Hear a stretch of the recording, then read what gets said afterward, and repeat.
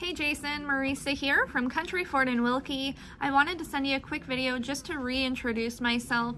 You are looking for some information on the 2017 F-350 dually Lariat that we have here. Just want to let you know that truck is still available and it's a fantastic option.